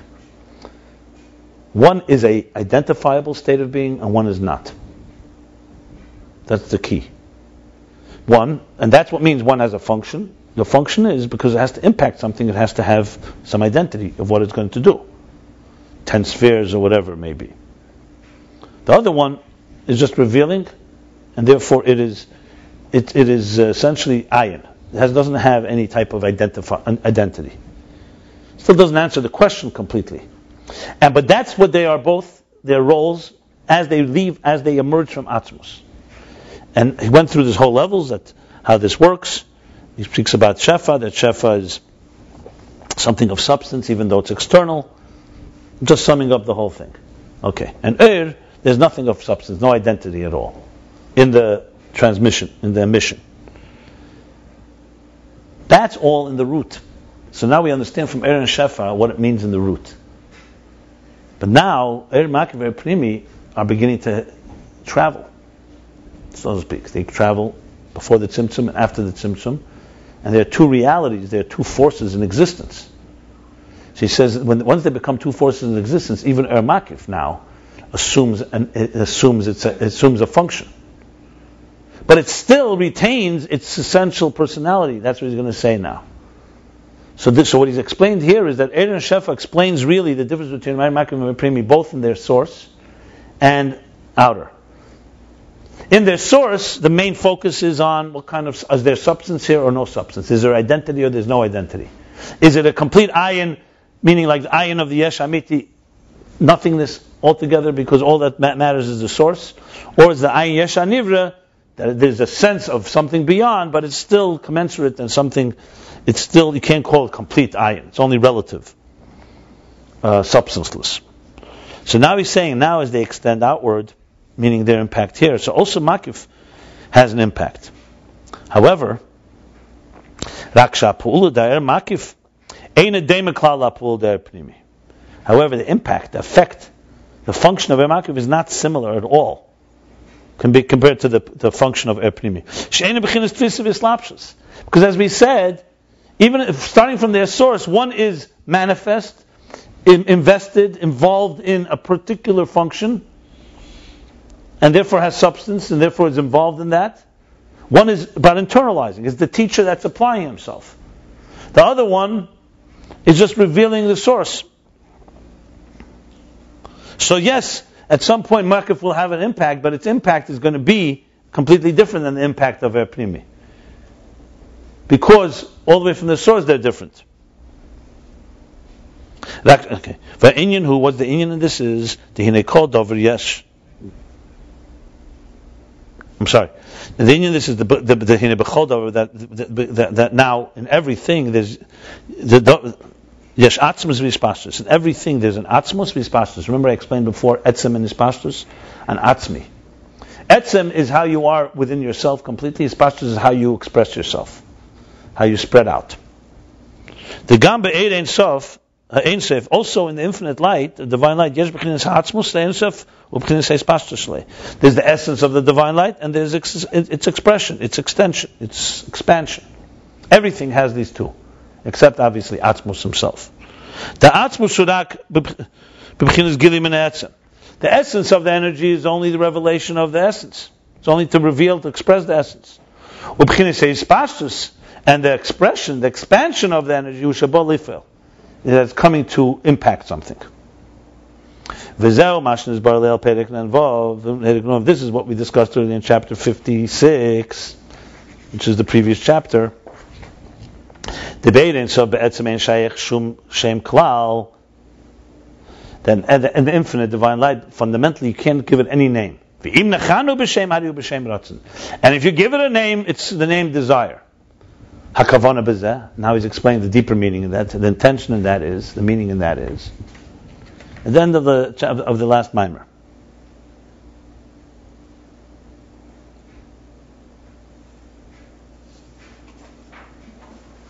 Could only call it Ein Sof, he said. But when you give it a name, it's called. Like he says when it comes, it's called Ratzon. So he says, what's the kavanah? The Atzma is the Ein Sof Ein Shem Klal. The essence of the divine light, you can't call any name at all. Or Shem. But its extension, because it's coming to impact something there, you can describe it. As I said, definition. Avarak Shem Ratzon, but only the name desire. Because desire has some connection to the thing you want, the object that you want.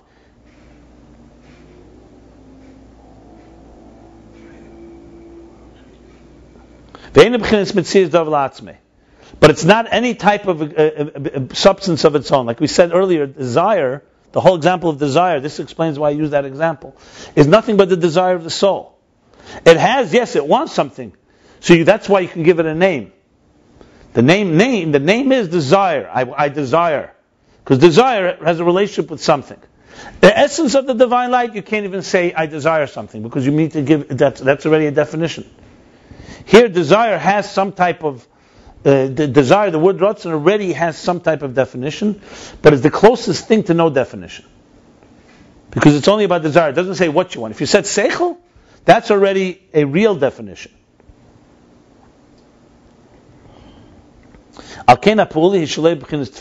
And that's why its function is not in a form of manifesting, a form of commitment. As we discussed earlier, chapter 52. The whole discussion on, on Ratzon.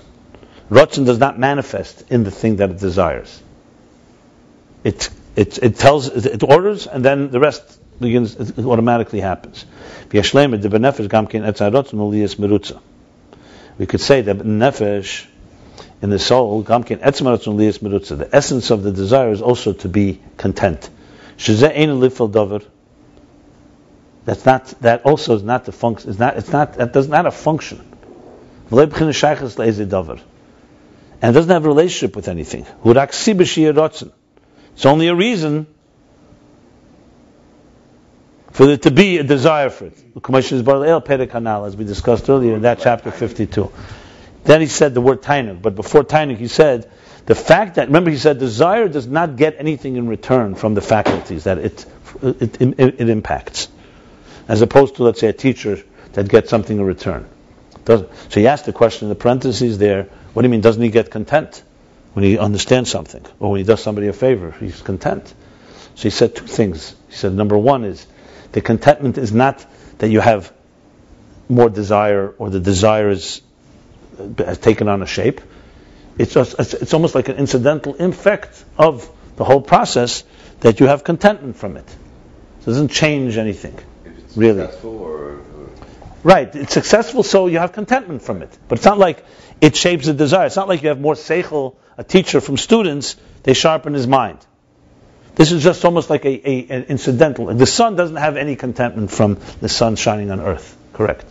Here there is a contentment, but its contentment is not in a way that's impacting the desire. It's only a, a type of result of. Sib, it's a cause for. That's how we can. And then he said, and primarily is that it impacts the pleasure. And the pleasure is communicating that contentment and desire, not the faculties are. Those are the two things he said. Here he's not mentioning pleasure. So he's just, he's just really saying that even desire, he's just explaining now, he explained, to, what, did he explain in this last section? He explained, he's trying to explain here how uh, there's like almost two stages, even in the Er Makif. There's the transcendent energy as it's in its source. There, no function. All it is revelation of its source.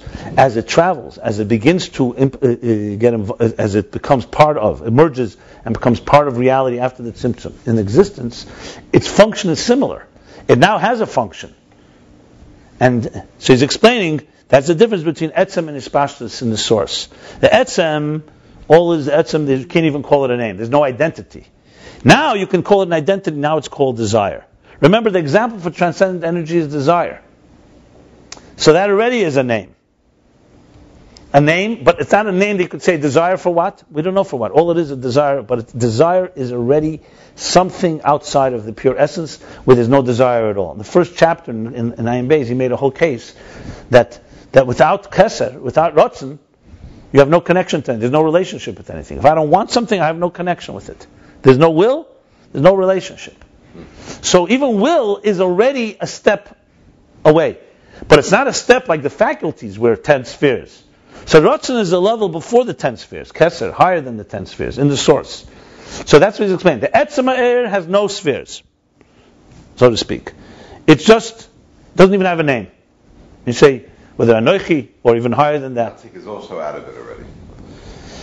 Uh, it depends. It depends. It depends on what level. At the beginning of Ratzon, tiny one. Then there's how it at least has a name. But this name is not a Metzias Dover. In the parentheses, he's adding that, well, you could say if that's the case, there is something nitfis, because now I want something, I desire something. But remember, he made a whole case that desire is not nitfis. It's not, it's not confined by. So he's adding now, in the nefesh, meaning not just above, also by us, when you say the etzem and you're, you're content, it's not for a function. It's also not relationship with things. It's just a cause for, so the contentment, why you desire, in other words, because you become content from this thing, that contentment is not the same type of relationship with the object, let's say, when you invest intelligence in it or emotions and so on. That's what he's adding here. He's just trying to explain that even Ratzon is not nitfas. That's the point. Now, but it's definitely the higher level. The chen, eh, same thing is the level of energy and light. The. Fundamentally, it's complete ayin, substanceless and shapeless, formless, completely legamri. B'chinas shaychus l'shum davar. It has no relationship with anything. All it is is a reflection of the source. Or hariu b'chinas shaychus. And it's an, exten- and it's an extension when it spreads out, when it extends, begin to shaykhis? Obviously, lifnei at Tzimtzum, before the Tzimtzum, there's no spreading, it's all relative, but it's two types of states.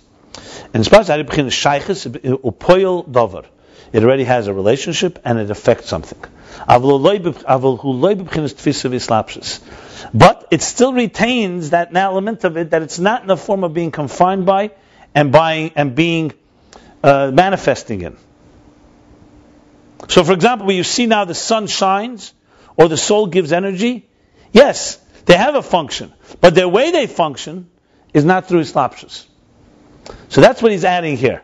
So just to say that it doesn't have a function, this chapter qualified that. It depends what you mean by function. In, in, in its source, it has no function at all. In its expansion, It has a function, but it's a function that is still not manifest in the in the in the object that it's that it's uh, impacting. Um, one second. It's not a function that way. That's not impacting. One is of substance. One is not of substance. Okay.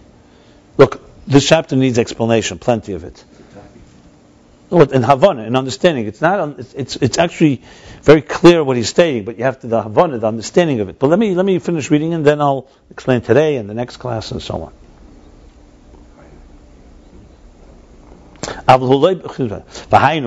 which means lefisha be'etzem uhusei hurak b'chinas gilei because it's the reason the fee because the fundamental essence of it, it's only a revelation and an expression of the essence. Ubchinas ayin, and it's in a state of ayin. Hinegam bispashu ubchinas ayin. Being that it's sorry, I should have read because it is fundamentally in its root only revelation of the essence and a state of nothingness. Also in its extension, it's also in a form of nothingness. And even though the makif, as we said, the transcendent energy has an impact, uh, impacts the world, has a makif. It's in a form of beyond. It's not manifest and contained, and it's everywhere equal. As it's known that the Ein Sof, the infinite light, the transcendent light, even though it affects the world, the is as we shall discuss, Sha'ir Kamapul is that the transcendent energy makes, has many impacts on the world, and he'll discuss the details later. It's not through manifesting in them. And this is what it says, as we learned earlier, that the heavens and the heaven and the heavens cannot contain you er er because they're not a container to the transcendent energy to receive them internally. Remember, we said only covered is glory, which that manifests in different stages. That manifests in the world, and there's stages in heaven and earth differently. But it says Shemayim v'saretz animale that I fill all of the world. Ani, my essence, the essence of the light, the transcendent, is in the same category. The heaven and heavens cannot contain you. Because we're talking about the transcendent energy. So the infinite, the immanent energy cannot, I'm sorry, they cannot be contained in a form of immanence. Ki'im. Rather, only that they radiate in the form of makif. He's going back now to chapter um, 49, which this was discussed. He's, connecting it all. Makif levad. Or makif lekulim b'shava. And it surrounds them and it transcends them, all, all of them equally Lekulim, to all of them equally. Because they're not a container to this energy, as we spoke. In, in Pnimi, everything is a container to an energy. Because even the highest level in the world is like the configuration of Adam Kadmon, the primordial man, the highest level in existence. That's the level of Shemei Shemayim. We said heavens and the heavens of heavens. What's the heaven of heavens? That's ak. There's tehiri law. These are new terms he hasn't used before, I believe. Tehiri law means the higher. Uh, tehira literally means oir, can be oir. But tehiri law is a level in Kabbalah and Chassidus that talks about tehiri law is usually the energy before Atzilus. There's different opinions. Sometimes Tirta law is used afterwards. There's footnotes on this elsewhere. We won't discuss that right now. But for now, Tirta Shachat Tzimtzum. This is so-called the lower luminary. Tahira can be luminary. The lower is luminary, that's after the tzimtzum. Even the high, even that highest level, gamkein and is also not a container for this transcendent energy. Liyas primi, that it should be able to permeate it and penetrate it, internalized. Only in a transcendent from distance, a detached way. And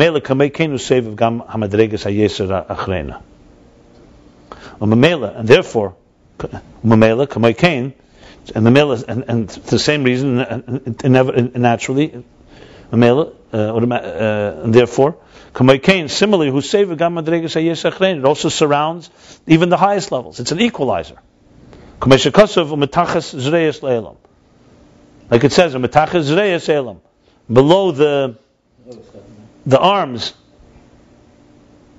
not the arms. What's the zreya? The uh, Zereya, no. The arms, shoulders. You say shoulders, Zereya? Zereya is, um, yeah, the shoulders, the arms of the le- of the world. So Matachat Zereya Selam, below shoulders of the, is the world. So even the lowest levels also, this is referring to the general seviv, not the, remember, every world has a keser, every world has its desire. Every world has its so-called transcendent energy. Here we're talking about the transcendent of the transcendent. Sheseva makiv klolos the kavachut kulam bashva, that surrounds and encompasses the entire klolos the overall cosmic order. That was that is shaped by the kavachut, by the ray and uh, thread of light. So kulam bashva surrounds them all equally. Is the the big equalizer, like the igul hagadol, the big surrounder. But this is what Achad seems to or it could be the Igul Agadol from before the Tzimtzum. It doesn't say, it doesn't spell it out. No, even the highest worlds are don't contain this. But what is it? This can be Zmakava Koseva Kloli is usually the Igul Hagadol. It's usually the light that remains after the the light right before the Tzimtzum that becomes so called the big circle. It's called. Okay. This is a heavy chapter in Havana, but uh, let me read the Kitzur. We'll explain tomorrow because it's already getting late. the seemingly, the light of the sun and the light and energy of the spirit, the soul, also has is also to impact, also to have a also has some little function to pull them.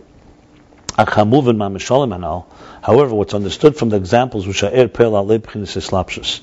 that the energy, light, does not impact in a form of manifestation. That's because it's not an identifiable entity. The shefa shefa, the, the transmission, the emission of the flow is an identifiable matter. And something, something essential, something of the essential identity uh, uh, of, of the reflection is being transmitted to affect something, to cause, to have some impact. Therefore, it comes in a form of manifestation and containment. Containment is the right word. Er and above, this is the imminent energy because its purpose is to affect.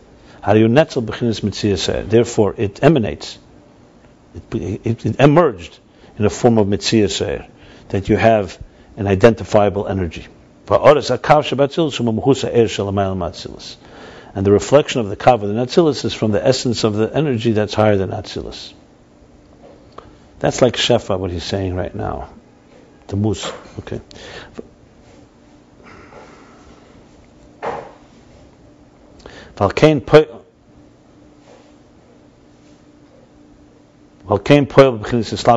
And that's why it affects in the form of manifestation and containment. Energy, on the other hand, as opposed to Shefa, its inyan, its role, its personality is revealing the essence, expressing the essence, and it has within it two stages. One is its essential energy, and its pashtus, its extension. Sheis pashtus hulifel. Its extension is to impact. But but but the way it impacts is not in a manifested form. In a form of makif. That's why it surrounds everything. It encompasses everything equally. So basically, it's, it's demonstrated here that Oyer really has two stages in it. And this is all not Shefa. One is as it is in its own right, meaning as it emerges from the essence. And there only is the recognition of its revealing the essence, and then it's how it begins to manifest, and ex- not manifest is not the right word, how it begins to spread, how it begins to go beyond that state, and that's how it plays a role in existence. And but that role is still a transcendent role.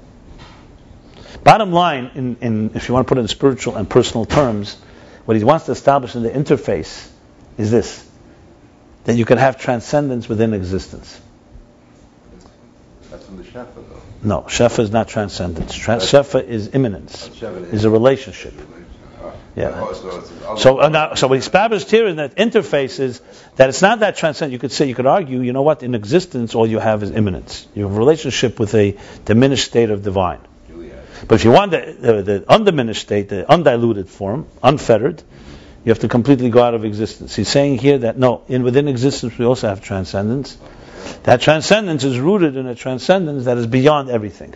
So it has a function that later we're going to discuss the details of this transcendent function. But what he's established is that there's a two levels in that itself. Okay, we'll stop here. That's uh, discourse 14, or discourse 15. I'm sorry.